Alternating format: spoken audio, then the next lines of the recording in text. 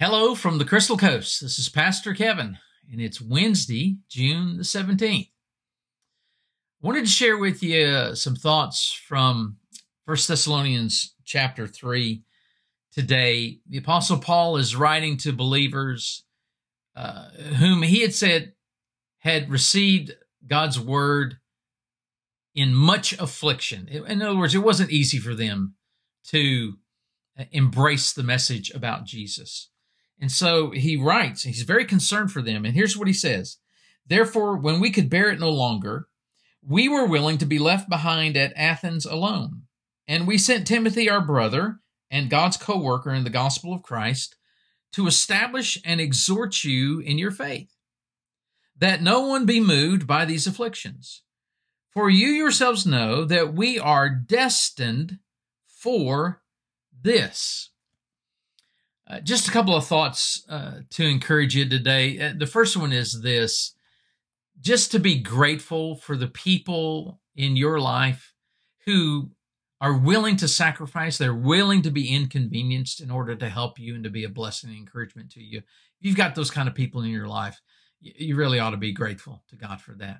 Second, be grateful for the God uh, for the people that God brings into your life to help establish you in your faith and exhort you to grow in your faith. If you've got folks like that who come alongside you and encourage you uh, in your devotion to Jesus, then again, be be grateful to God for those kinds of folks.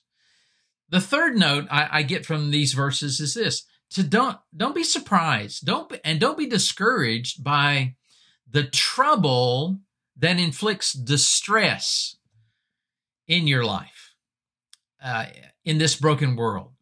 That's simply part of God's design for us. It, it, it, it it's part of what God uses to develop the character of Christ in us and to display his glory to us. So don't be, don't be surprised when um, when you're in the midst of, of, of troubles in this life.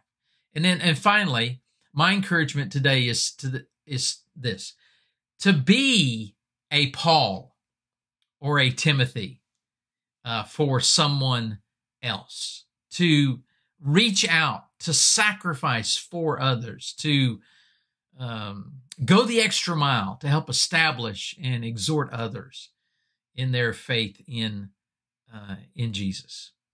Um, so let me pray for you today.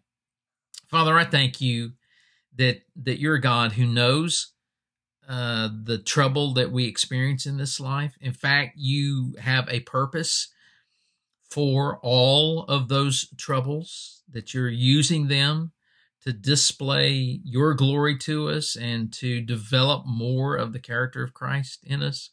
So help us, Father, to not be discouraged by uh, by those troubles, to not be surprised when they when they come. Um, make us the kind of people, Lord, as we respond to you, who who will willingly sacrifice for others and come alongside others and be an encouragement and blessing to them as they as we can help them grow in their faith. We're so very grateful for those kinds of folks that you've brought into our lives, uh, even today. And so we, we thank you for all that. Lord, we want to represent you well.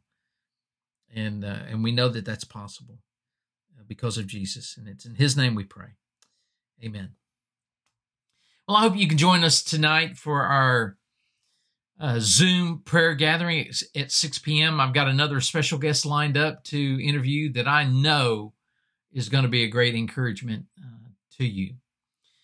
I've uh, been informed that we've got about 20 of those baby bottles that we've been uh, distributing over the last few weeks since Mother's Day for uh, supporting the Coastal Pregnancy Care Center. If you haven't picked one up, can I encourage you to do that this Sunday? They'll be available at the Community Impact Team, uh, their table. Um, if you have already picked one up, thank you for doing that. And uh, please make sure that you drop those off uh, this week uh, when you come for um, when you come for service that we're very excited about.